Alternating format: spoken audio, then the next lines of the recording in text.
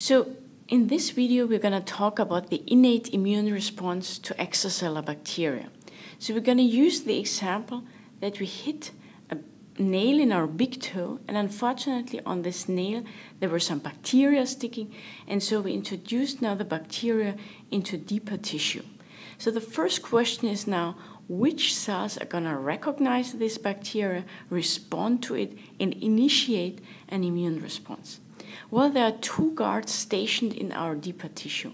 Number one guard is the macrophage, and then number two guard is the dendritic cell. We're going to talk first about the macrophage. The macrophage, macro is Greek for big, and phage is Greek for eater, is a big eater.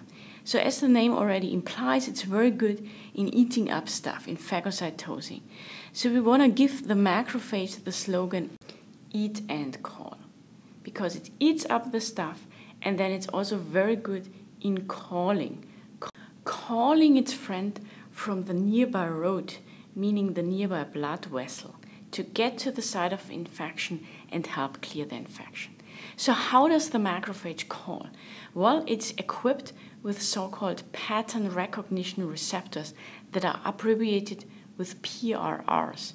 There are toll-like receptors, TLRs, NOD-like receptors, NLRs, or rig-like receptors, RLRs, and they all can recognize pathogens.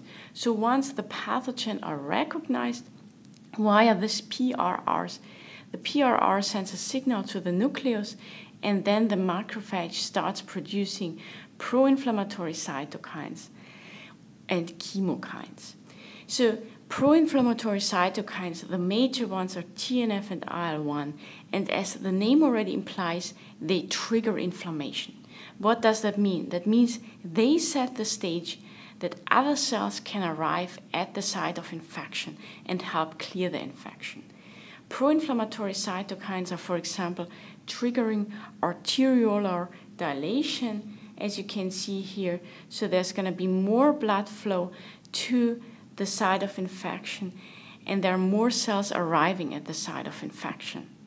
They are also triggering endothelial cell constriction, so there will be gaps in the endothelium, so it's easier for cells to get into the sites of infection as well. And then the macrophage is also producing chemokines like CXCL8, and CXCL8 is the major chemoattractant for neutrophils. The neutrophils are one of the friends of the macrophage that are called in this situation. And the neutrophil is circulating in the blood. It's on call. And the neutrophil slogan is eat and die. Because the neutrophil is also very good in phagocytosing, but it has a very short lifespan. It dies within one to three days. So the neutrophil uses this roll, stop, exit strategy to get to the site of infection. Then helps phagocytosing bacteria and then eventually is going to die off. Now let's talk about the other guard that is stationed in the tissue. That's the dendritic cell. The dendritic cell is also equipped with pattern recognition receptor and recognizes bacteria very similar to the macrophage. However, its response is slightly different. The slogan of the dendritic cell is eat, show, and run. Because the dendritic cell is also a good phagocytotic cell, it eats up the bacteria, but then the dendritic cell likes to show what it has eaten. It shows it via the MHC class II molecule. It's an antigen presenting cell, shows the stuff that it has eaten, and then it's gonna go run off via the afferent lymph vessel to the lymph node to initiate an adaptive immune response. So the dendritic cell is going to personally go to the lymph node, present its antigen, and tries to find a T cell that recognizes this antigen via the T cell receptor. This T cell is eventually going to become a T helper cell and will help a B cell that also recognized the antigen via the B cell receptor and presented it via MHC class II to become a plasma cell. And then the plasma cell is going to start producing antibodies. And those antibodies will eventually going to show up in the blood because they are draining back via the lymph, via the thoracic duct into the blood.